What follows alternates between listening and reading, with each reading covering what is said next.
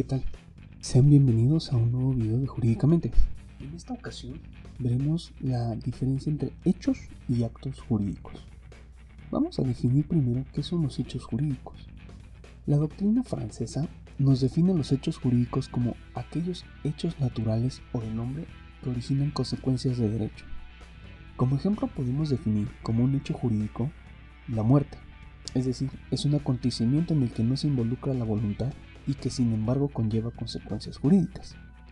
En los hechos jurídicos se lleva una clasificación entre aquellos hechos de la naturaleza y aquellos hechos del hombre, los que a su vez se clasifican entre aquellos hechos jurídicos voluntarios e involuntarios, distinguiéndose de los actos jurídicos puesto que en los hechos del hombre voluntarios no se busca la intención de generar consecuencias jurídicas.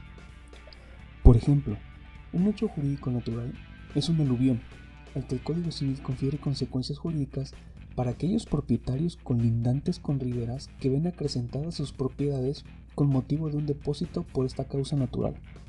Ahora bien, un hecho jurídico del hombre donde exista su voluntad puede ser la voluntad de un individuo para cometer un ilícito, donde se otorgan consecuencias jurídicas a un hecho ilícito perpetuado con la intención del individuo, como puede ser el caso del delito de falsificación de moneda o secuestro. Por otra parte, los actos jurídicos son aquellos donde la persona busca la consecuencia jurídica como la celebración de un contrato. Por ello se definen como la manifestación de la voluntad con la intención de crear, transmitir, modificar o extinguir derechos u obligaciones. Ahora bien, todo acto jurídico debe revestir ciertos elementos esenciales, sin los cuales el acto jurídico se considera inexistente. Estos elementos son una manifestación de la voluntad, la cual puede ser expresa, que es cuando se exterioriza de alguna manera, y la manifestación de la voluntad tácita, cuando se desprende de hechos u omisiones que revelan un propósito. También como elemento esencial se requiere de un objeto, este objeto debe ser física y jurídicamente posible. La solemnidad es un elemento contingente, es decir, no se dan todos los actos jurídicos. Sin embargo, cuando no se reviste la solemnidad para aquellos casos en los que se requiere, la consecuencia es la inexistencia del acto jurídico. Por otra parte, los actos jurídicos también tienen elementos de validez, sin los cuales se dan causas de nulidad.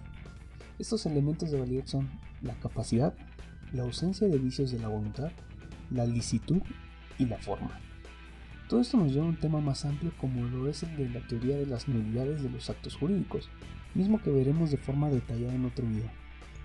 Por lo pronto, si te fue de utilidad este video, no olvides darle like y suscribirte al canal para conocer cuándo se compartirá más material como este.